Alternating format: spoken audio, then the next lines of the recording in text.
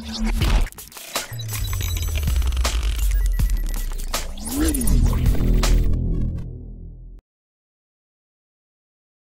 Friends sports பற்றின செய்திகளை உடனுக்குடனாக தெரிஞ்சுக்கொள்ள நம்ம தமிழ் கிரிக்கெட் சேனலை சப்ஸ்கிரைப் பண்ணுங்க.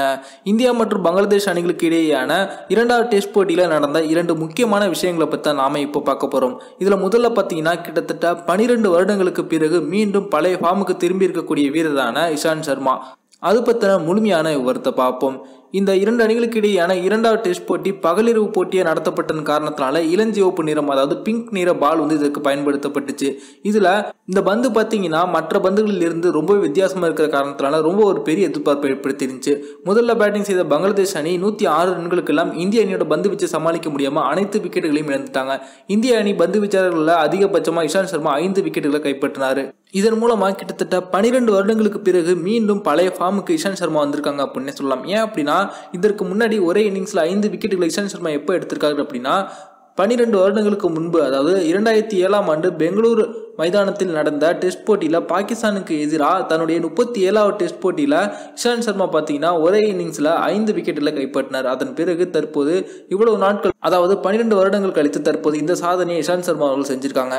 மற்றொரு விஷயம் என்னன்னு பார்த்தீங்கன்னா தற்போது கொல்கத்தாவில் நடந்து கொண்டிருக்கும் இரண்டாவது டெஸ்ட் போட்டியில் இந்திய அணியில் இருக்கக்கூடிய இரண்டு முக்கியமான வீரர்கள் தற்போது அணியில இருந்து நீக்கப்பட்டிருக்காங்க. அதற்கு காரணம் என்ன அப்படின்னா இந்தியாவில் நடக்கக்கூடிய உள்ளூர் போட்டியான சையத் முஷ்டாக் அலி டிராபி இந்த போட்டி நடந்துகிட்டு இருக்கு. இதுல விளையாடக்கூடிய இரண்டு வீரர்கள் தங்களுடைய சொந்த அணிக்கு விளையாடுவதற்காக போயிருக்காங்க. ரிஷப் பண்ட் பாத்தீங்கன்னா தன்னுடைய டெல்லி அணிக்காகவும் சுப்பன் கில் பாத்தீங்கன்னா தன்னுடைய சொந்த அணியான பஞ்சாப் அணிக்காகவும் விளையாடுவதற்காக அவங்க இரண்டு பேரும் தற்போது இந்த டெஸ்ட் போட்டியில அணியில இருந்து நீக்கப்பட்டிருக்காங்க.